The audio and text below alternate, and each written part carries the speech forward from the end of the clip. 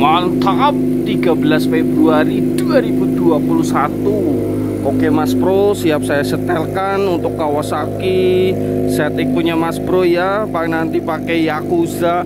X-House tipe H2 kalau saya ini tipe R7 Mari kita cek sound Mas Bro tak setelkannya mantap maksimal. Seperti saya setel buat setik saya sendiri.